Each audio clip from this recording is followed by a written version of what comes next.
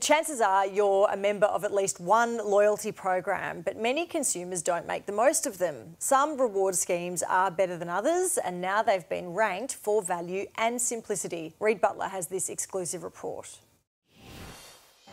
New mum Mariah Richards from Ringwood has cracked the loyalty code. I love getting free things. And who doesn't? Saving cash has never been more important. I think every $10, $15 here and there really adds up. Now, Australian consumers have chosen their favourite rewards programs. A new independent report ranking 88 brands on value, simplicity, and personalisation, scoring them out of 100.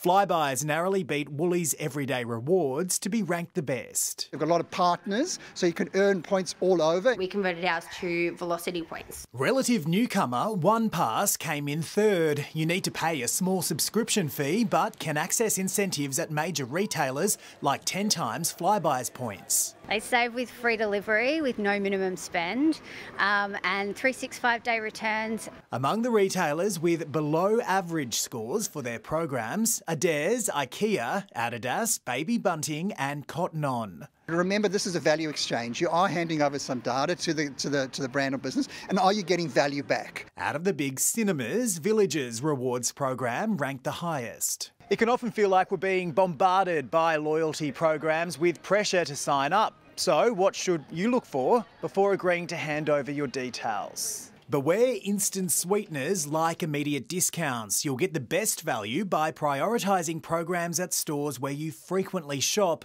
monitoring for point booster promotions, and playing the long game. Woolies have the bank for Christmas. They have a million members who've saved their points to, for Christmas. Amazing offering. Reed Butler, 9 News.